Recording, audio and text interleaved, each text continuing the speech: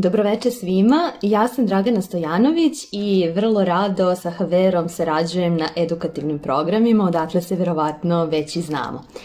Večeras je sedmo veče praznika Hanuka i ja ću zapaliti sedmu svećicu na svojoj Hanuki. Svoju Hanukiju sam stavila u prozor s obzirom na to da je funkcija svetla Hanuke da oglasi čudo koje se desilo nekada u ono vreme i o tome će govoriti i drugi blagoslov koji ću izgovoriti. Prvi blagoslov će se odnositi na samu zapovest o paljenju svećica. Upalit ću šamaš i paljenje može da.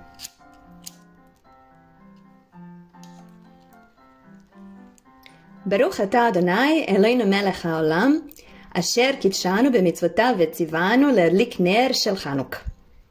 ברוך אתה אדוני אלוהינו מלך העולם, שעשה ניסים לאבותינו בימים ההם בזמן הזה.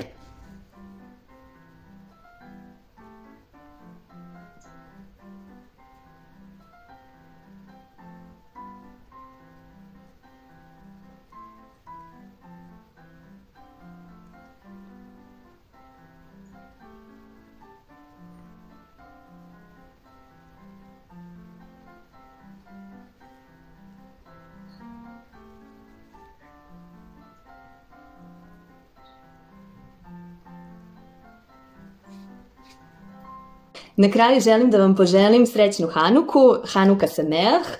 Ovo je praznik svetlosti i ja vam želim da tu svetlost nosite sa sobom kroz sve dane koji nam dolaze.